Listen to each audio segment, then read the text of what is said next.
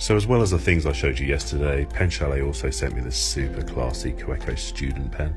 It's double broad, uh, so it means it's super juicy, and I used it for this uh, uh, extra layer that I added here to the doodle I was doing yesterday. Now, at some point, either when I was putting it away or something, I think you can see it's just smudged there. And usually I just say, just embrace the smudge, it's fine, live with the smudge, but well, this one looks super ugly. So I decided to make a visible repair to it, which I really liked how it turned out. I do wonder how many famous paintings had things not work out and things we just know and live with now uh, were never meant to be there.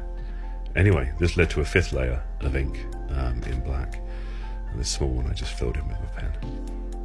Anyway, here's how the gold ink shimmers in the light. Really beautiful. And here's the finished piece. I hope you like it.